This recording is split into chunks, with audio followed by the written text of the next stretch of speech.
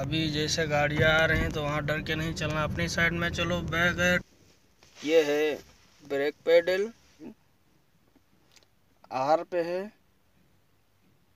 Reverse लेन अस्सलाम वालेकुम दोस्तों उम्मीद करता हूँ अच्छे होंगे खैरियत से होंगे। आज हम इस टॉपिक पे बात करना चाहते हैं वीडियो पे। न्यू वीडियो के साथ आप के लिए हम हाजिर हैं। नई वीडियो यहाँ जो सऊदी अरबिया में आते हैं ऑटोमेटिक गाड़ी कैसे चलाते हैं, नए ड्राइवरों के लिए वीडियो है। हम आपको दिखाते हैं कि ऑटोमेटिक गाड़ी यहाँ पे सऊदी अरबिया में कैसे चलाई जाती है। उस बारे में हम बात करना चाहते हैं, आप लोगों को वीडियो दिखाना चाहते हैं। दोस्तों, हमारे चैनल पे बने रहिए। जो भी मेरे इस चैनल को देख रहे हैं लाइक और सब्सक्राइब करें ताकि आने वाली वीडियो सबसे पहले आप देख सकें। चलिए दोस्तों, हम गाड़ी में बैठ चुके हैं। अभी हम आपको दिखाते हैं ऑटोमेटिक गाड़ी कैसे चलाई जाए।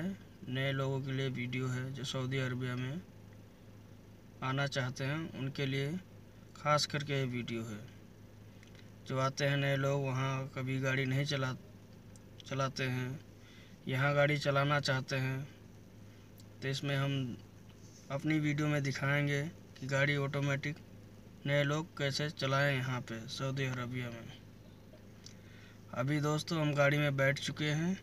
अभी हम मुद्दे पे आते हैं, दिखाते हैं आपको कैसे गाड़ी ऑटोमेटिक चलाई जाए।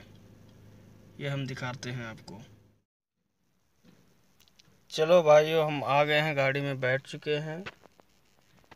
अभी हम आप लोगों को दिखाते हैं ऑटोमेटिक गाड़ी कैसे यहाँ पे सऊदी अरबिया में कैसे चलाते हैं।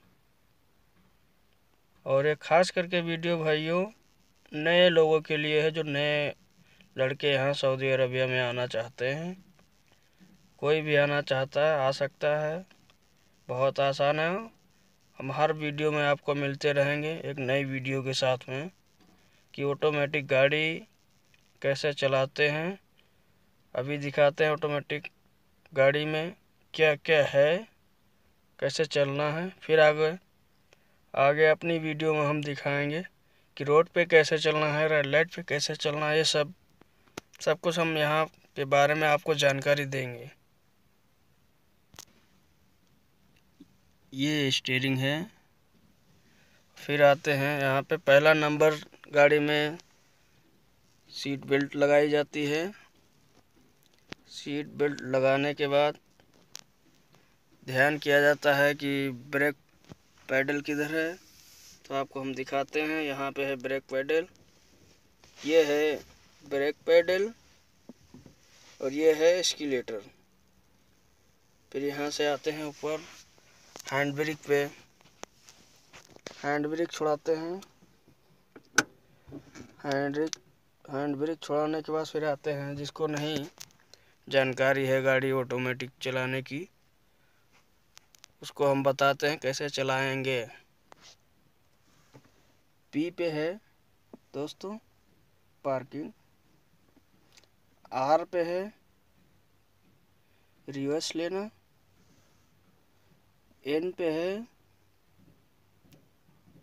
न्यूट्रल यानी गाड़ी कहीं भी खड़ी करो। एन पे कर दो, बाद में हैंड ब्रेक लगा सकते हो न्यूट्रल कर सकते हो। फिर डी पे है, आगे चलने के लिए। फिर उसके बाद आते हैं, जैसे अगर जो आपको एसी चाहिए, या एसी चलाना आपके गर्मी लग रही है, या ठंडी का मौसम है, या ठंडी लग रही है, वो सब चलाना है। इस बारे में हम जानकारी आप लोगों को देना चाहते हैं। अभी हम यहाँ आए हैं एसी के सिस्टम में।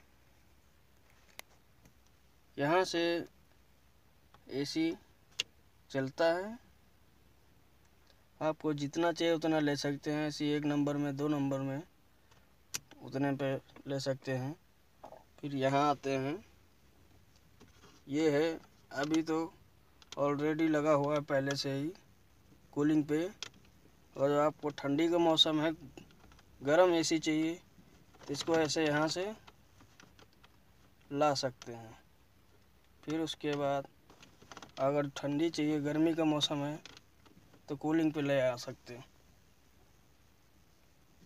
फिर उसके बाद, ये बटन दबा दीजिए, आपका एसी चालू हो जाएगा। फिर उसके बाद म्यूज़िक वगैरह चाहिए, जो भी चाहिए, सब यहाँ पे है। चलिए, अभी हम चलते हैं फिर आगे रास्ते के लिए, कैसे चलना है यह हम आपको दिखाते हैं इस वीडियो के साथ। कृपया करके हमारे चैनल पर बने रहिए दोस्तों। हमारे चैनल को लाइक करिए, सब्सक्राइब करिए। हम आपको हर एक नई वीडियो के साथ हाजिर होंगे।